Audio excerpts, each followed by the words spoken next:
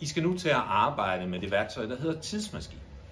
Og øh, I kender sikkert det her fra nogle historier med, at tidsmaskinen er en, der kan enten tage en frem i tiden eller tilbage i tiden.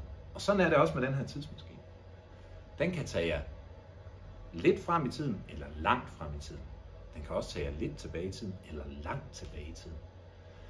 Og så kan man sige, hvorfor skulle I dog gøre det, når I skal lave idéer?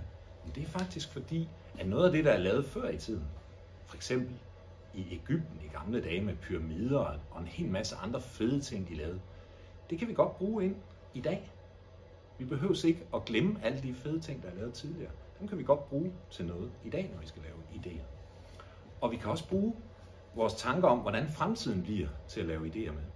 Altså hvis vi for eksempel tænker 50 år frem i tiden, hvordan er verden måske så? Og hvordan vil dem, der er der om 50 år, i en meget mere moderne verden, hvordan vil de måtte gøre ting? Hvilke idéer vil de finde?